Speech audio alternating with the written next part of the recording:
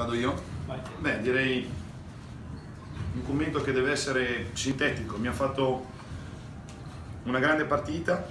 Eh, credo che il punteggio sia anche un po' bugiardo rispetto a quello che è stato il vero andamento della partita perché per come abbiamo condotto la partita, per come abbiamo anche difeso, per come avevamo anche l'inerzia della partita, probabilmente per come è andata non è stata una partita da ultimo possesso. Poi naturalmente è venuta fuori un bellissimo finale che credo insomma, abbiamo portato a casa una, una vittoria meritata.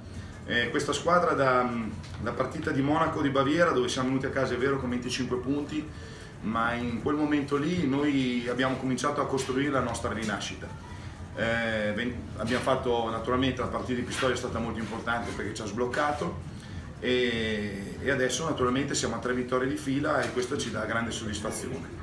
Anche per come è avvenuta, anche per il momento nel quale è avvenuta.